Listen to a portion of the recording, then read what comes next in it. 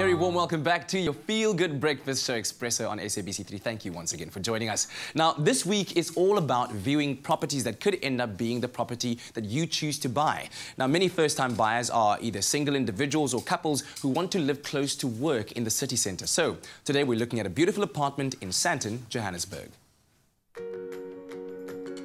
With so much to consider when buying your first home, we've decided to take a closer look at different types of properties and chat to professionals to find out what makes a property a good purchase.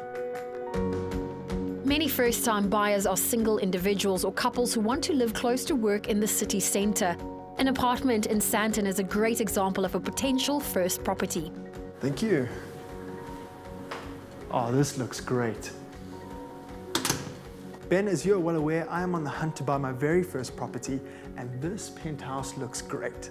I'd tend to agree with you. This is one of the better ones.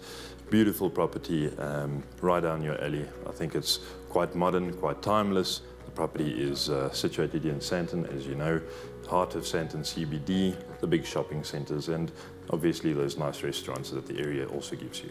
What would you say are the key features of this penthouse that would best suit a first-time buyer? One of the nice features of this property is the is immigrating and selling the property fully furnished. So for you, it's literally I give you the key and you move in. We know you're quite busy and on the move all the time. So first big thing is it's lock up and go. The building offers high level class security downstairs, means that you know that you'll be safe when you're here and your belongings will be safe when you're not. The building's got Wi-Fi, uh, fibre actually into the building, a beautiful clubhouse downstairs with a nice sparkling pool. Bit of advice that I always like to give first-time buyers like yourself is go out and choose your neighborhood. You can always pick a property later because you can redo a bathroom or relay a garden, but with a neighborhood you can never redo you know, the community, the, the restaurants, the, the, the whole feeling and the vibe of the property or the area that you want. So quite important, pick your neighborhood first. Can you take me through the layout of this penthouse? It's an open plan layout, as you can see, which is quite nice. It maximizes your living area, your living space.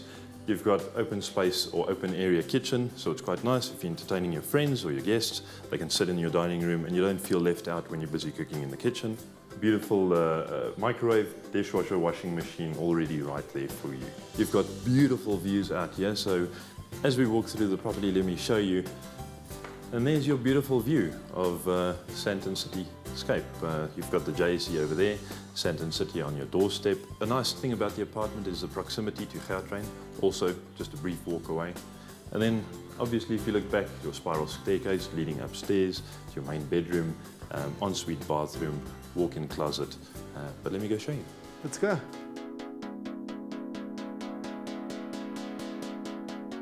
Yes, Brett, so this is your upstairs. You can see your main bedroom, Lovely, leading uh, onto your deep soak bath.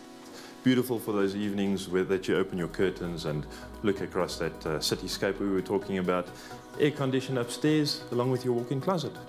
Ben, why would you say that this is a good investment for me?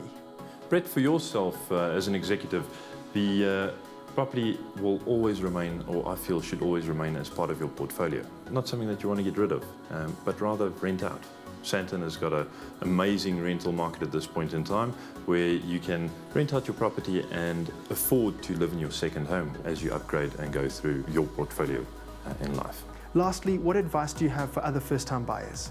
Go out, find yourself a good agent, uh, a neighbourhood expert that takes interest in your personal life. They need to know you to know how to place you in a certain property. Also, if you've looked at the property during the course of the day, go back at night, ask your agent, um, let me go have a look at it in the evening because obviously the area does change quite a bit when you see it at night.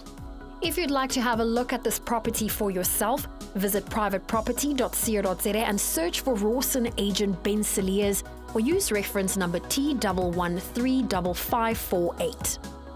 No matter what your dream home may be, remember at Private Property there is a home for everyone.